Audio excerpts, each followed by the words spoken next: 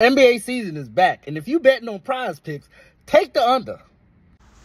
I say take the under because players like Joel Embiid, I think they getting paid to take the under because there was no reason why he ain't fight for that three pointer. And then he went down and make it worse. Like he is basically covering the spread.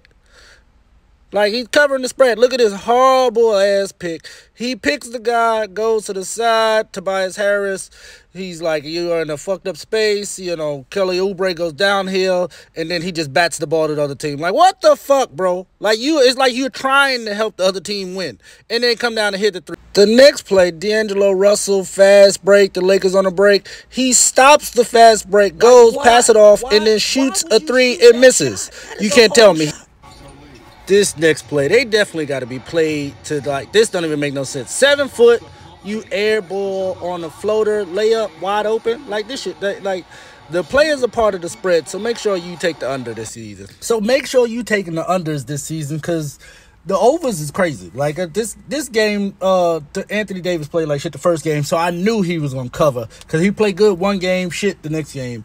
Uh, Giannis, he had 23 points and, and it was eight minutes left in the game, and he didn't score another. Like he did, like like Giannis, Mister. I'm I'm a, I'm just going down. He got one move, bounce step, euro, spin, bounce into everybody, and foul. Like that's his one move.